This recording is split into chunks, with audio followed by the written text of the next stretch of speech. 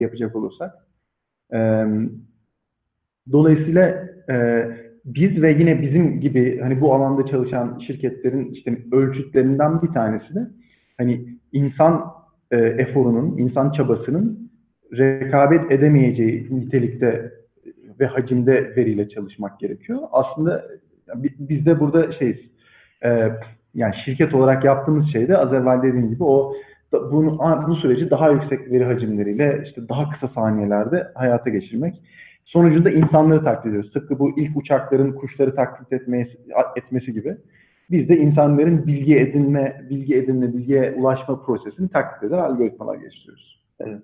Bir de tabii verimlilik var. Yani bir saatte yapılan çalışmayla işte 300 saatlik çalışmanın verimliliği de çok farklı oluyor. Sizinki de ayrıyetten ekstradan verimli. Muhakkak, muhakkak. Burada tabii şey de var. Yani bu yapay zeka konuşmalarında her zaman gündeme gelen şeylerden bir tanesi de e, işte amaç burada insanların yerini almak mı? E, burada kişiden kişiye, bireyden bireye değişen yorumlar olmakla beraber bizim genel olarak mottomuz e, insanların yerini almak değil. Sadece insanların e, sadece insan eforuna dayalı olan süreçleri artık makinelere devretmek. Böylelikle insanları daha kreatif alanlarda kullanabilmek.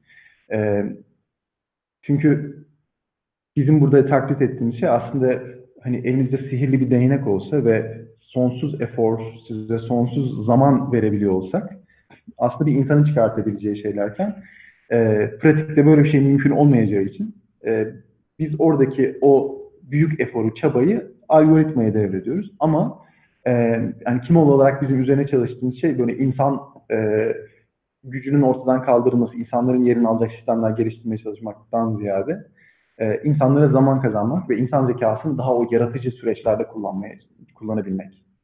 Şimdi yazılımı daha çok reklam verenlere sattığınızı aktardın. Peki oradaki Doğru. iş modeli nedir? Yani aylık bazlı mı yoksa direkt yıllık bazlı mı? Oradaki modeli nasıl oturttunuz? Bu da biz yani kim olayı ben kurmadan çok 10 yıllar önce belirlenmiş bir aslında sektör yani araştırma sektörü çok eski bir sektör bakınca. Ee, dolayısıyla biz e, iş modelini kurgularken de aslında şeyi anlamak durumunda kaldık. E, bugüne kadar bu iş konvansiyonel bir şekilde yani geleneksel yöntemlerle nasıl ticarileşmiş? Biz onu gene dijitalleştirmeye çalıştık. E, araştırma sektöründe çünkü kısa periyotlu araştırmalar çok fazla kullanılan bir şey. Yani bugün internet ortamında satılan internet tabanlı ürünlere baktığımızda işte SaaS tabanlı pek çok ürün görebiliriz yıllık üyeliklerle çalışır. E, bizim modelimizde kimi zaman reklam verenler işte 3 aylık bir kampanyası için de bu ürünü kullanabiliyorlar. E, ya da işte yeni yıl stratejisini kurarken geriye dönük 12 aylık veri için de e, bunu kullanabiliyorlar. Dolayısıyla bizim modelimiz kitle yani araştırması yapılacak kitle sayısı çarpı ay üzerine. Yani diyelim ki bir markanın hedef kitlesinde genç kitle, tiyatro severler ve diyelim ki seyahati sevenler, üç tane kitleden bahsediyoruz. Bu üç, üç tane kitlenin kaç aylık verisiyle çalışma yapacaksa bizim business modelimiz de bunun üzerine, iş modelimiz de bunun üzerine gelişmiş oluyor. O konuda da bir SaaS tool'un bütün nitelikleri var. Sadece kullanıcının şeye karar vermesi lazım. Yani kaç aylık veriyle araştırma yapmak istiyorum? Kaç kitleyle araştırma yapmak istiyorum? Biz bugüne kadar bu, bu sektörde alışılmış bir iş modelini aslında gene burada biz dijitalleştirmiş olduk. Çünkü konvansiyonel bir araştırmada da e, kişi sayısı devreye girecektir. Bazen zamana, bilinçli olarak zamana yayılan bir araştırma da yapılabilir. E, buradaki metrikleri kendimizce kullanıp işte data hacmi de bizim için ölçütlerden bir tanesi ama orada genelde kullanıcının tercihine bırakmıyoruz. Yani ne kadarlık data ile bu araştırma yapılması gerekiyor sorusunun tercihini kullanıcıya bırakmıyoruz. Özellikle tool'un kendi belirlediği e, şeylerden yani ne kadarlık bir verinin analiziyle o sonucun çıkması gerektiğini artık biz orada kendi biz de tool'a emanetiz orada. E, kendi geliştirdiğimiz tool'a onun üzerinden gidiyoruz. Anladım. Aslında zaten daha önceden araştırma firmaları nasıl çalışmalar yapıyorsa, nasıl bir iş modeli varsa siz de şu an onu uyguluyorsunuz. Ee, evet, yani onu bu dijital şeye uyarlamaya çalıştık açıkçası. Güzel. Şimdi biraz pazarlama tarafına girmek istiyorum. Siz yurt dışına yeni yeni açılan bir firmasınız. Bizim Doğru. de podcastimiz yurt dışına açılan firmalara yönelik olduğundan Burada neler yapıyorsunuz? Yurt dışına nasıl pazarlama yapıyorsunuz? Öğrenmek istiyorum.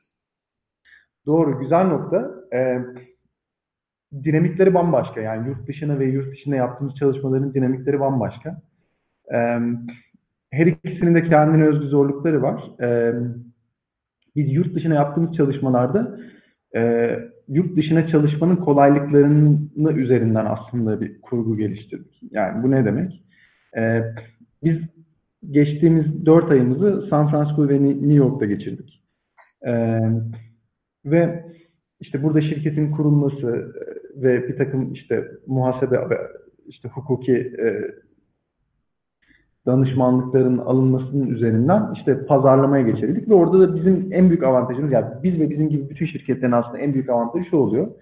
E, Amerika üzerinde internet kullanımı ve internet üzerinden araç kullanımı daha yaygın olduğu için insanlar e, bu tip tool'ları denemeye daha elverişli, daha meyiller, daha eğilimliler. Bu noktada bizim de stratejimiz genelde birebir bire tanışmaları biz şeyde her zaman ön, ön planda tuttuk. Yani bu ne demek? Ee, bizim için Türkiye'de bir ürünün çalışması eşit değildir Amerika'da çalışacağı. Dolayısıyla e, Amerika'da insanların yeni ürünleri denemeye daha hevesli olduğunu bildiğimiz için biz birebir yaptığımız görüşmelerin hepsinde özellikle işte hedeflediğimiz e, zaman zaman bize yol göstereceğini düşündüğümüz şirketlerden insanlara ulaşıp e, şeyi anlattık yani biz Türkiye'de böyle bir iş yapıyoruz. E, bunun bu pazardaki uyumluluğunu anlamak için de sizin fikirlerinizi almak isteriz deyip insanlara birebir ulaştık. E, buna çok fazla zaman ve efor harcadık ilk girişimizde. E, bu bizim için bir yatırım da açıkçası. Yani bu zaman yatırımı. E, ve oranın dilinde konuşmayı, e, oranın aynı sektörün oradaki terminolojik e, karşılığını anlayıp e, dilimizi ona evretmeyi aslında bu sayede yaptık.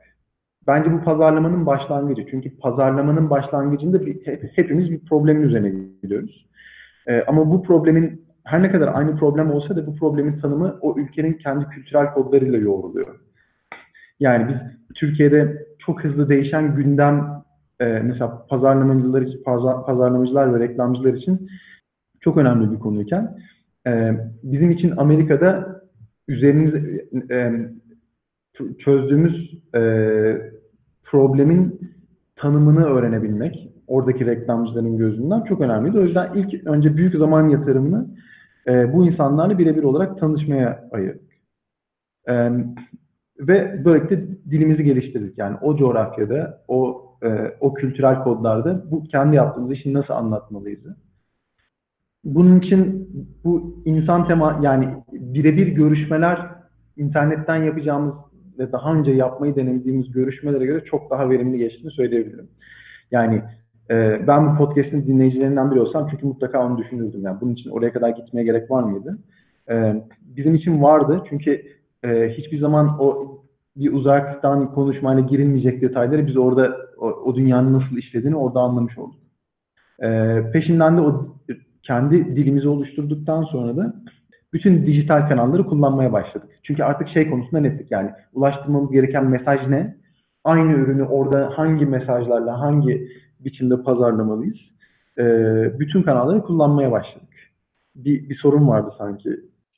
Ee, şey diyecek, daha çok e, LinkedIn'den ve tarz, o, o tarz sosyal mecralardan yapılan iletişim yerine direkt orada birebir e, yüz yüze yapılan görüşme e, çok faydalı diyorsun ve bununla birlikte ayrıca bence sizin ürün tarafında e, feedback almanıza da yardımcı olmuştur bu. E, tabii tabii muhakkak. Yani biz ürün tarafındaki feedback'i hem bizim sektörden hem sektör dışı insanlardan sürekli alıyoruz ve hepsi çok faydalı. E, hatta bazen sektör dışındaki insanların bakışı e, bize çok şey anlatıyor. E, ama dediğim gibi yani aynı aynı ürünün orada hangi problemin çözümü hangi vurguyla anlatılması gerektiği üzerine biz birebir görüşmelerde bugüne kadar öğrendiğimiz her şeyi o, o, o şekilde öğrenmiş olduk. Evet. Ee, bunun evvelinde yapacağımız bütün pazarlama faaliyetlerinde çünkü şeyin kaybına uğrayacaktık. Hani doğru mesajla mı ulaşıyoruz buradaki kitleye? Ee, bunun kaybını yaşayacaktık. Biz orada kayıp yaşamaktansa gerçekten e, alıp çantamızı gidip orada insanlarla birebir konuşarak e, o zaman ve para yatırımını yapmayı tercih ettik. E, açıkçası biz kendi adımıza da bunun çok faydalı olduğunu gördük. E, o yüzden aslında bir yandan da e, kendi adıma vereceğim tavsiyelerden bir tanesi de bu olur. Anladım. Ayrıyeten oradaki kültürü de tatmış oldunuz ve ona göre de belki planlamanızı yaptınız. Bu da gayet önemli ve faydalı. Şimdi bir Sociable Co viral içerik hikayeniz var sizin. Bir Arthur var. Oradaki Arthur'u, bir Sociable Co'yu dinleyebilir miyim senden? Çünkü o ga- gayet e, viral bir içerik oldu. Benim gördüğüm kadarıyla 4000'den fazla paylaşımı vardı internette ki çok farklı bir e, içerikti. O nasıl doğdu, ne oldu orada? Yani onun bir hikayesini duymak, öğrenmek istiyorum. Bu da tabii ki ayrıyetten bir pazarlama çalışması. Yurt evet bu pazarlama çalışması. pazarlama çalışması. Gayet de güzel bir çalışma. Ee, dinleyiciler için bayağı da faydalı olacağını da öngörüyorum. Evet aslında e, bu bir şirketin globalleşme aşamasında aslında e, insan bir anlamda şey kavruyor. Yani dünyanın aslında e, çok klişedir gerçi ama ne kadar büyük olduğunu aslında o globalleşme çaba, çabasında anlıyorsunuz. E, çünkü dünyanın dört bir yanından gerçekten çok iyi akılların e, elinden çıkmış ürünlerle rekabete giriyorsunuz. E, biz e, işte geçtiğimiz yıl Mayıs ayında aldığımız bir yatırım vardı globalleşme çalışmasına başlamak için. Ve üzerine en çok kafa yorduğum süreçlerden birisi de biz globalleşmeye çalıştığımızda dünyanın, globalin bundan nasıl haberi olacak?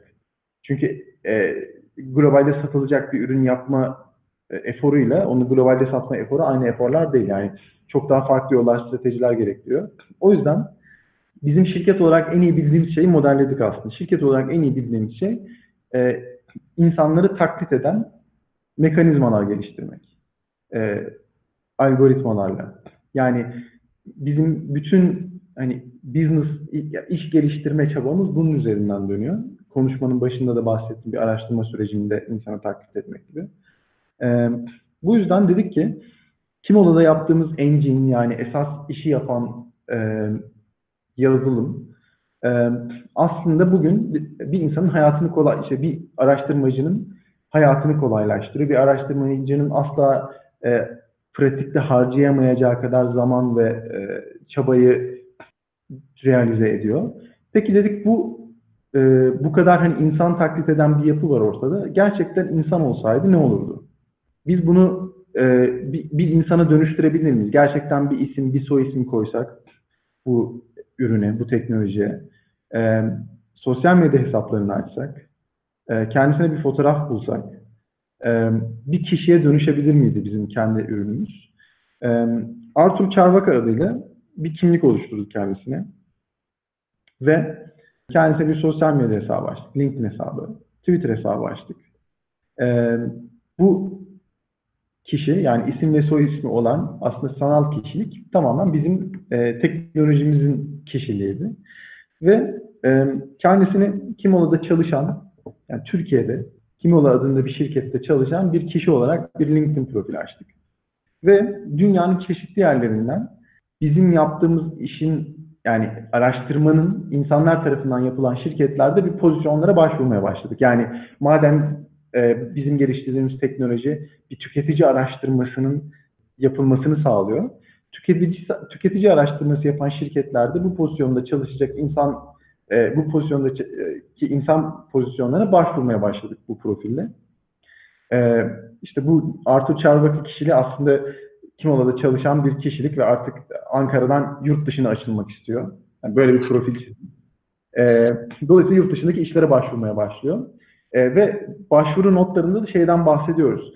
E, bilmem kaç e, bin tane kaynağı okurum. İşte bu kaynaklardan şu kadar miktarda veri okur kafamda işte sınıflandırır, bunları araştırma sonuçlarına dönüştürürüm. Ya bizim tool'un ne kadar yeteneği varsa bir insana atfederek yazdık. Dolayısıyla insanüstü bir yapı çıktı ortaya. Ama neticede bir yandan da bayağı gerçek bir insan yani. LinkedIn profili var, Twitter profili var. Ee, ve biz iş başvurularından bazılarından sonuç almaya başladık. Yani görüşme için insanlar bize geri dönüş yapmaya başladılar. Bizimkisi de deneysel bir çalışma olduğu için aslında şey görmek istedik. Yani araştırma şirketlerinin bizim ürünümüzün yeteneğindeki bir kişinin gerçek olması durumunda nasıl reaksiyon göstereceğini görmek istedik. Çok da güzel reaksiyon geldi. Yani şirketler bu profili görüşmek için dönüş yapmaya başladılar. Dönüş yapan şirketlere de açıkçası kolda durumu anlattık. Yani biz böyle böyle işleri yapan aslında bir şirketiz. buradaki Arthur Çağrılık ve kişiliği de bizim teknolojimizi